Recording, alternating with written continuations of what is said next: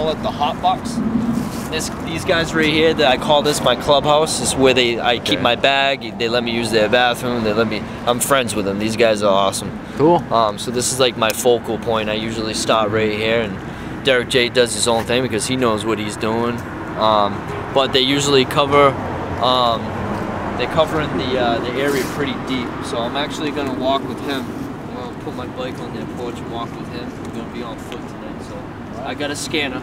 So if anything hot happens, I'll let you guys know on the radio. Shout it down. Derrick J. This is Centurion from Keene Cop Block. We're cop blocking tonight after uh, Keenevention. This is uh, some people from Manch, some people from Philadelphia. Philadelphia, some people from Baltimore. some people from Brian Merrimack. Merrimack. So we got we got a crew out tonight. I don't have Yeah? to do it alone tonight. Woo! How's it been going? What's been happening tonight so far? nothing. They just started coming out.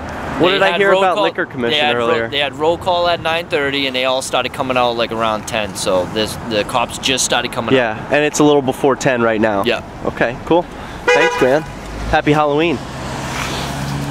Liquor commission is out. They're Yeah, out. Two cars I saw, and that Officer Ray I saw. Officer Ray, and Yeah. she's who? The liquor commission that me, you, and Ian caught night right next to uh, Cumberland Farms. All right, excellent. Thanks. We'll see if we can get some good pictures of her tonight.